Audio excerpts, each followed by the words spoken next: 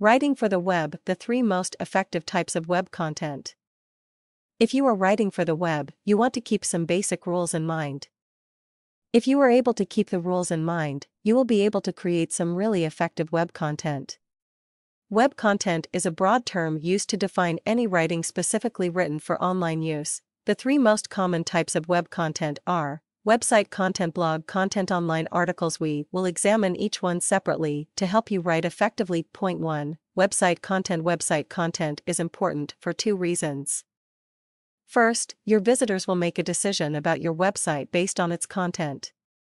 The better the content, the more consumer confidence and loyalty can be established. To accomplish this, you want to make sure your content is thorough, easy to read, and organized logically. For the most part, keep your sentences short. Try to write at a basic reading level, 8th to 9th grade, unless your target market is highly educated. You want to keep your paragraphs short and use subheadings to designate different points being made.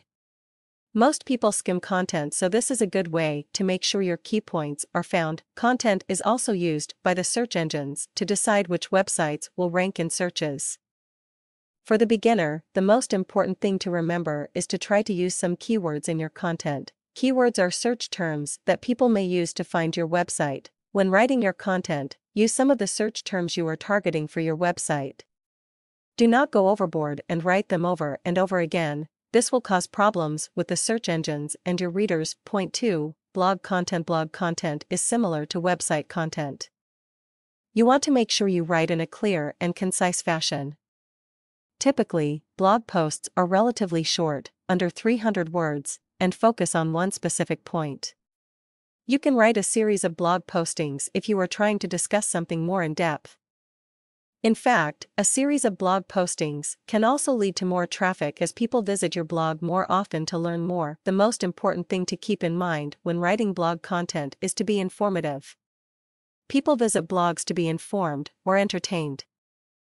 Your ability to do this will be directly tied to your blog's success.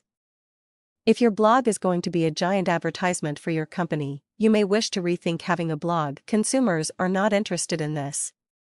An informative, well written, and concise blog is what consumers are searching for. Point 3 Article content The most important thing to keep in mind when writing articles for distribution is make sure the article has value. Few things frustrate web users more than reading an article that has little or no value.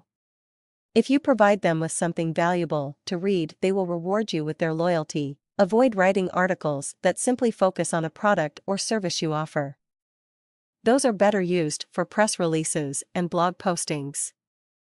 Your article should identify a problem and offer solutions, or discuss an important topic, or provide useful information and or entertain the reader. Write your articles at an 8th or 9th grade reading level. This is not the time to try to impress people with your vocabulary. People will appreciate you providing them with easy to read material that has valuable content, Try to use some search terms slash keywords in the articles you are writing. This will help make any links to your website more valuable.